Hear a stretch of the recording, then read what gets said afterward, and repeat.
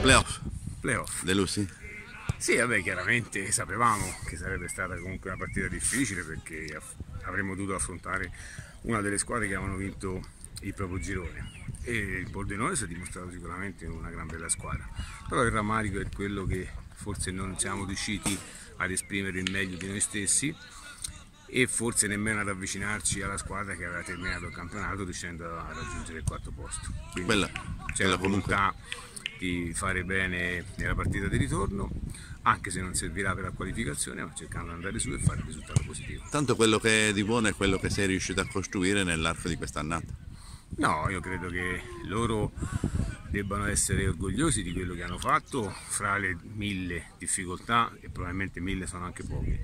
Eh, è chiaro che dispiace lasciare il, il campionato con una partita come abbiamo fatto domenica scorsa, ecco perché ci deve essere la voglia di andare su e dimostrare che probabilmente il Pordenone è più forte di noi, ma non così come ha dimostrato domenica scorsa. Tanti ragazzi stanno ultimando la fase di riscaldamento, ecco, sì. da, da com'è... Sì, eh, riscaldamento a piacere, ma credo che adesso siamo arrivati alla fine della stagione, sono stanchi effettivamente anche loro, quindi magari lasciamo un pochino più di briglia sciolta.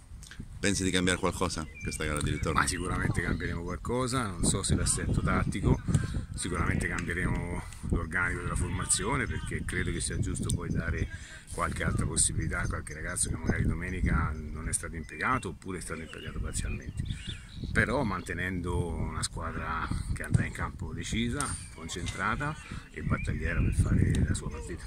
Grazie.